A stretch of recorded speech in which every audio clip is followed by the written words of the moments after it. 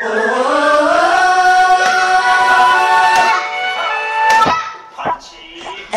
wants kung fu fighting.